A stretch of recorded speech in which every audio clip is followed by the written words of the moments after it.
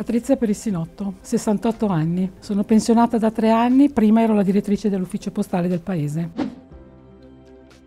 Mi sono candidata per il comune di Rogeno e guido una lista civica chiamata Uniti per Tutti. Il luogo del cuore è il lago dove da decenni vivo che divido a pari merito con la zona dell'area mercatoria, situata al centro del paese. È lo stesso luogo scelto per fare la foto di gruppo dei candidati, proprio per dare un senso di unione tra i due centri più grandi del paese.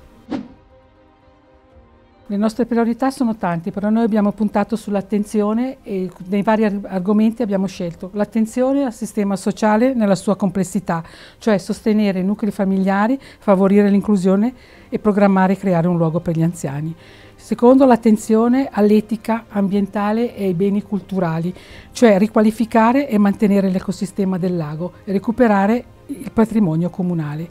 La terza attenzione è la trasparenza amministrativa e il bilancio partecipato, informando con canali diversi i cittadini sulle scelte messe in atto.